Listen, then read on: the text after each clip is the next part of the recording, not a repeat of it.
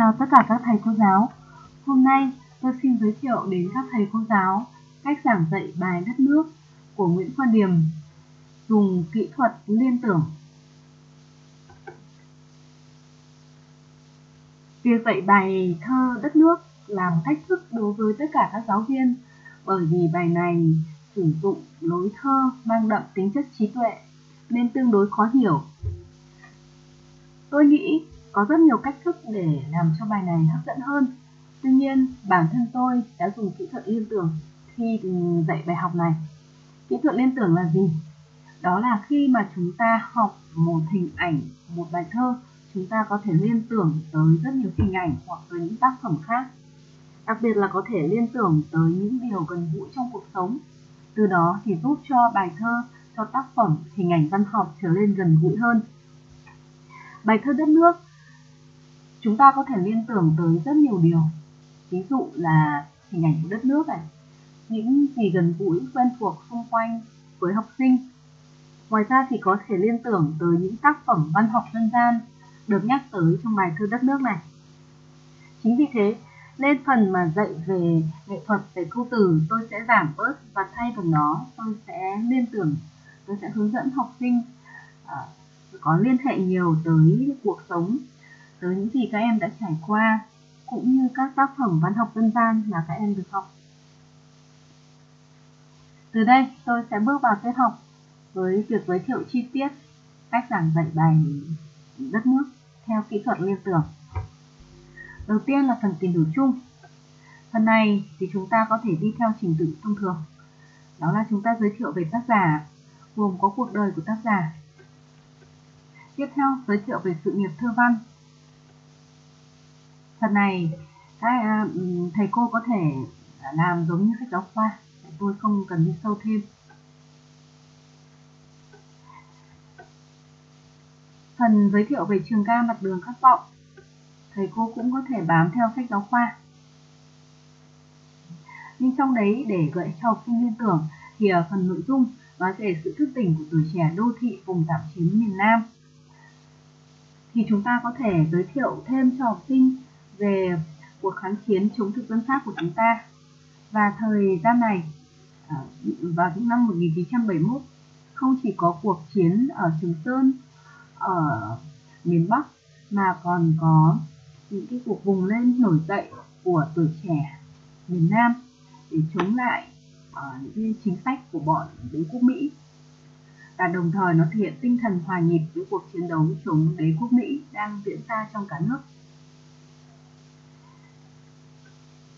Tiếp theo, phần thứ ba, chúng ta đi sâu vào đoạn trích đất nước.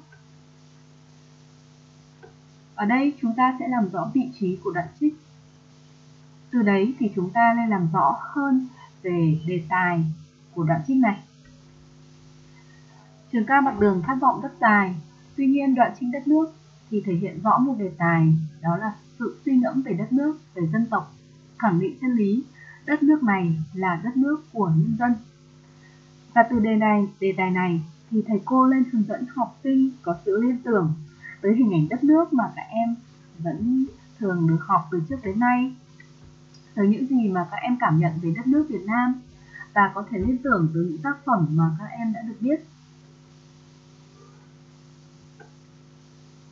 Ví dụ như ở đây, sau khi học sinh rút ra một số cảm nhận của em về đất nước và nhắc lại kiến thức về các bài thơ, các tác phẩm nói về đất nước thì tôi sẽ rút ra hai tác phẩm khá nổi tiếng về đất nước như sau. Thứ nhất là bài thơ của Nguyễn bình Thi Việt Nam đất nước ta ơi, mênh mông biển lúa, đâu trời đẹp hơn. Cánh cò bay là dập dờn, mây mờ che đỉnh trường sơn sớm chiều. Hoặc là lấy bài thơ của Chí Lan Viên hỡi sông hồng, tiếng hát bốn nghìn năm. Tổ quốc bao giờ đẹp thế này chăng? Chưa đâu, và ngay cả trong những ngày đẹp nhất, khi nguyễn trãi làm thơ và đánh giặc, nguyễn du viết kiều, đất nước hóa thành văn. Khi nguyễn huệ cưỡi voi vào cửa bắc hưng đạo diệt quân nguyên trên sóng bạch đằng. Từ hai bài thơ này chúng ta, một là gợi cho học sinh cảm nhận về hình ảnh đất nước xuất hiện trong thơ văn và thứ hai nữa, chúng ta nên so sánh hình ảnh đất nước trong những bài thơ này với cả hình ảnh đất nước trong bài thơ của tác giả Nguyễn Khoa Điểm. Cụ thể, thì những bài thơ khác, người ta cảm nhận đất nước ở những đường nét rất hoành tráng về không gian, với giọng điệu ngợi ca đầy tự hào, với những trang sử hào hùng trói lọi như vậy thì đại đa số các tác giả đã tự tạo ra một khoảng cách nhất định để chiêm ngưỡng về đất nước, nhìn đất nước ở tầm góc kỳ vĩ lớn lao. Thế còn bài thơ đất nước của chúng ta mà chúng ta được học hôm nay thì lại miêu tả đất nước ở một khoảng cách vô cùng gần gũi. Khoảng cách ấy là khoảng cách của mỗi con người sinh ra, của một người thấu hiểu lớn lên những hình ảnh được miêu tả vì thế vô cùng giản dị, không hề trói lọi, nhưng đọc lên chúng ta vẫn thấy vô cùng tự hào. Và để làm rõ được khoảng cách gần gũi ấy thì chúng ta có thể cho học sinh tìm hiểu thêm về hoàn cảnh sáng tác của tác phẩm. Cụ thể, hoàn cảnh sáng tác của bài như Nguyễn Khoa Điểm đã nói, tôi viết chương này trong những ngày mưa triền miên sau Tết đó là thời kỳ máy bay Mỹ đánh phá dữ dội. B-52 dội liên tục, làm cho mọi thứ tối tăm mù mịt. Chúng tôi ngồi trong hầm và viết, cảm xúc được cộng hưởng bởi tiếng bom nổ, bởi khói bom và mưa rừng.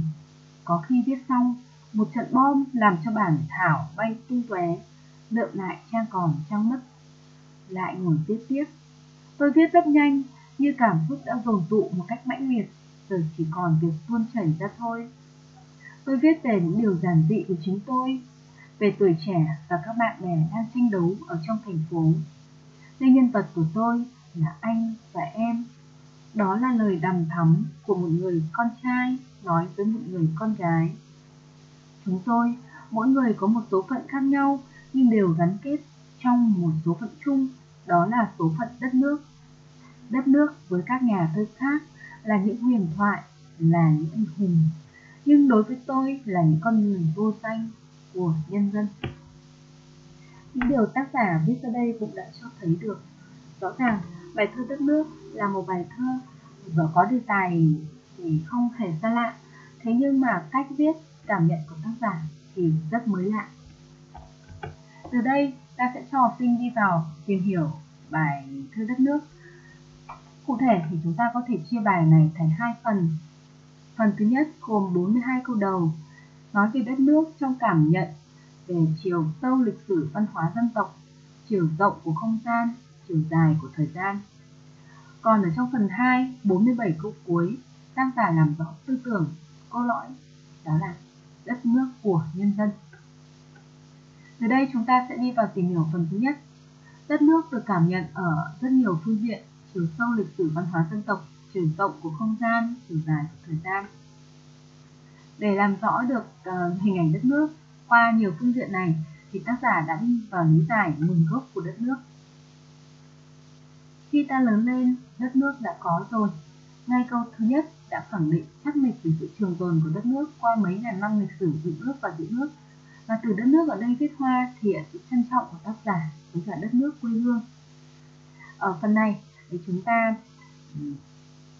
nên bắt đầu gợi hứng cho học sinh để học sinh có sự liên tưởng. Ví dụ như là bằng những kiến thức về lịch sử địa lý thì các em có thể lý giải hộ cô là đất nước có từ đâu không?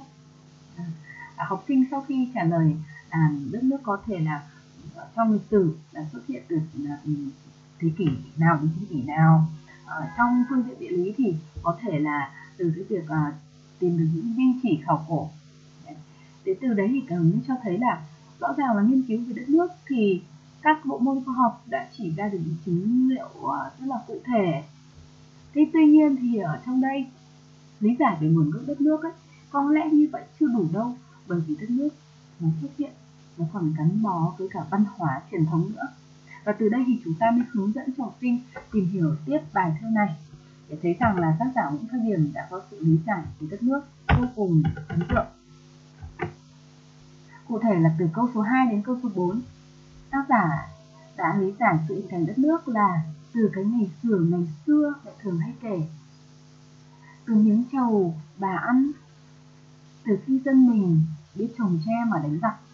Liệt kê ba hình ảnh này để cho học sinh liên tưởng. Khi nói đến lịch sử ngày xưa chúng ta có thể liên tưởng tới cái gì?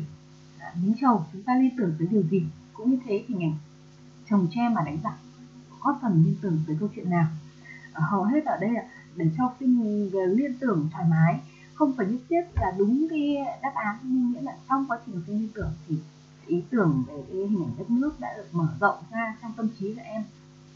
Và từ đấy thì ờ, giáo viên có thể chốt lại một số nét. Ví dụ như là, ở đây, hình ảnh đất nước ờ, rõ ràng được gắn với rất nhiều câu chuyện cổ, với cả phong tục tập quán đẹp nữa.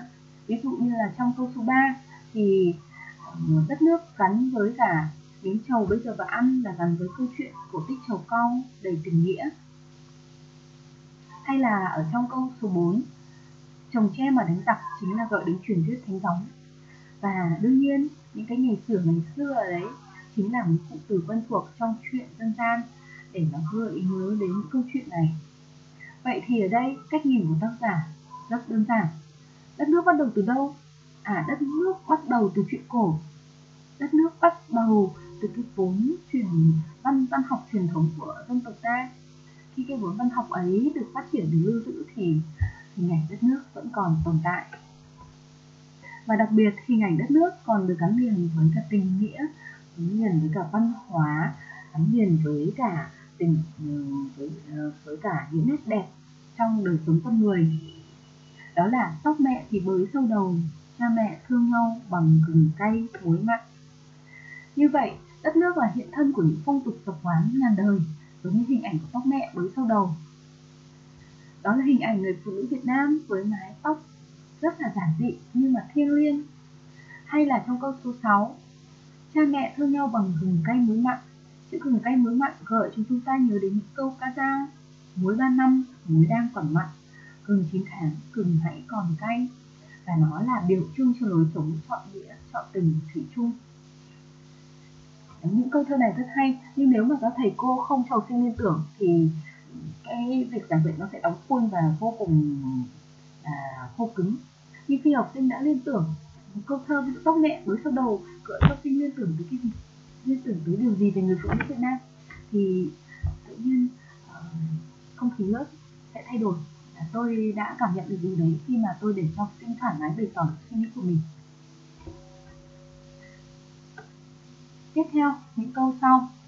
Câu 7, câu 8 cái kèo cái cột thành tên hạt gạo phải một nắng hai phương tay dã dần sàng đấy cũng là những câu thơ mà học sinh có thể gợi được rất nhiều những liên tưởng. Ví dụ như là cái kèo cái cột thành tên ấy thì ờ, có người đã liên tưởng ở đây phải chăng là tác giả đang miêu tả là những công việc lao động? Nhưng có người thì cho rằng đấy là công việc dựng xây nhà cửa. Mỗi người có thể là ừ, cho mình một đáp án khác nhau. Ờ, có người thì lại còn cho rằng đấy là hiện là việc là chúng ta đang tiến hành đặt tên cho tất cả những vật dụng xung quanh của chúng ta nữa. Ờ, nhà thơ viết ra có lẽ là có rất nhiều những chủ nghĩa khác nhau nhưng mà tuy nhiên thì uh, khi mà tiếp nhận thì mỗi người sẽ tiếp nhận một hướng. Tất nhiên là giáo viên đừng nên ép học sinh không? Việc mà trình chiếu lên trên màn hình chỉ là một cái gợi ý của giáo viên với học sinh mà thôi. Đấy.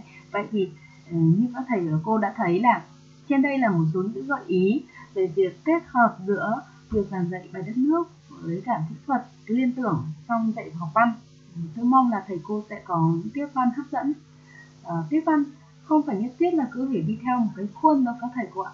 Cứ miễn là các em có thể tiếp nhận hứng thú với bài học là tiết học đã thành công rồi. Như vậy chúc thầy cô sẽ có những tiết văn để ấn tượng. Xin chào tất cả các thầy cô.